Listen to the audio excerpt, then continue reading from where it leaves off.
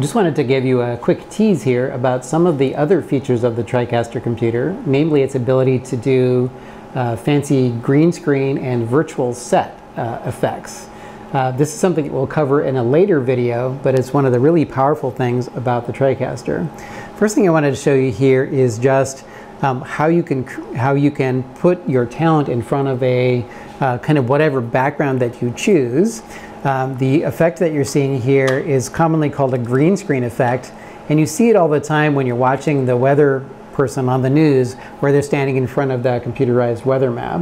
Well, the TriCaster here has that same ability. If you pose someone in front of the green wall out in our studio there, uh, we can basically set it up so that we drop out all of the green in the background and then you can replace that background with whatever other kind of background that you want. So I can put another camera in the background like that one of the other cameras. I can put you know another video playing in the background. Almost anything can be uh, can be used as a background behind him. That's basically though technology that's been around for quite a while. It's just kind of your basic uh, you know uh, two-layer green screen effect. Uh, but one of the things that makes the, the TriCaster really cool is that it also has these things which are called virtual sets. What makes them virtual is that the set, of course, doesn't exist in real life. It's just uh, a three-dimensional uh, image that's been created by the nice people who make the TriCaster. Um, and it actually allows us to do virtual camera moves. So like the set that you see on the screen here of our talent sitting at the desk, uh, and you have two monitors on the screen there, I can actually do virtual camera movements where I, where I zoom in on the desk uh, as you would with a real camera as he was starting to talk. So if we look at the controls on the screen here, um, once I get on the on the, the right ME here, I can zoom in on the desk like that.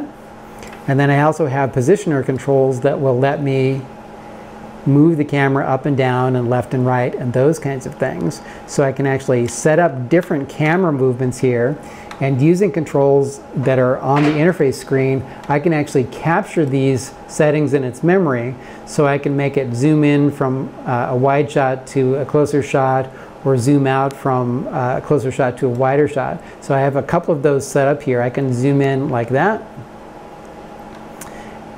and it'll stop there and then I have another preset so I can zoom in closer to him so we just get him talking. You can even see his reflection in the desktop there, even though it's virtual.